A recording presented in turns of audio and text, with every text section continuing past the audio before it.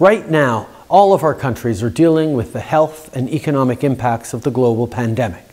But as we look to rebuilding from this crisis, we must do so in a way that will build back better for all of our citizens.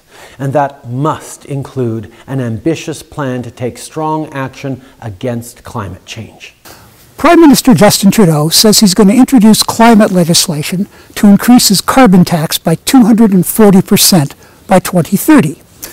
That would raise the cost of gasoline in the four provinces where it would directly apply Ontario, Alberta, Saskatchewan, and Manitoba by 38 cents per litre.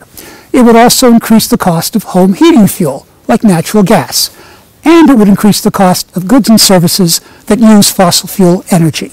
That's almost all goods and services.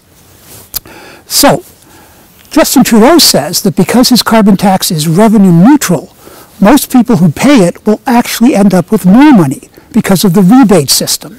So the Prime Minister has told us he has a tax that makes most people richer. Now, it's a little hard to believe that, and here's why. Prior to last year's election, his Environment Minister at the time, Catherine McKenna, repeatedly said that Justin Trudeau's carbon tax, which right now is $30 per ton of greenhouse gas emissions, would never go higher than $50 per ton of greenhouse gas emissions. Plan is not, the plan is not to increase the price point post 2022. We are doing exactly what we said we do, what we negotiated with provinces and territories in 2016. Now, after the election, Trudeau says he's going to raise it to $170 per ton of emissions. We will raise Canada's price on carbon pollution, rising by $15 a tonne starting in 2023 and rising to 170 Canadian dollars per tonne by 2030. So it's a broken election promise.